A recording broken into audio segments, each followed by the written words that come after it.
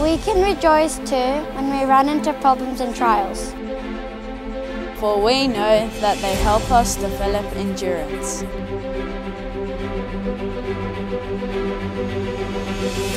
And endurance develops strength of character. And character strengthens our confident hope of salvation.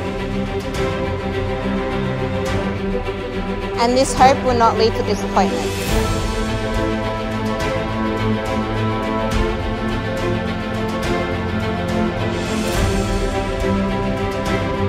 We know how dearly God loved us.